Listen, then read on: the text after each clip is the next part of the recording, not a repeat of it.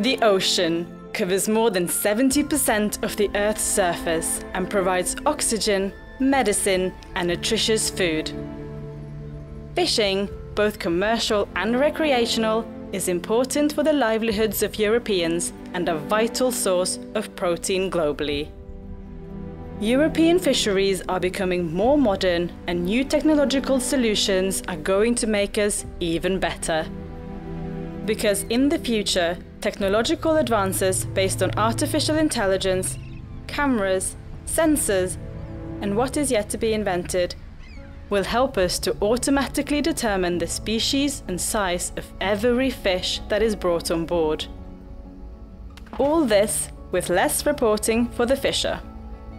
The catch amount, position, temperature, and even the sex of the crab can be digitally collected and shared within the industry. Not only will these new technologies make reporting easier for those of us working at sea, they will also give us more data, better knowledge, and make it easier for us to document a sustainable industry for future consumers.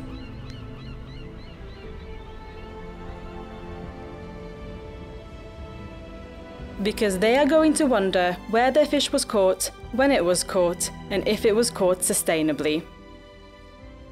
And then we as a fishing society can be proud and say that we fish with a clean conscience and that we take responsibility for the environment and the resources we manage.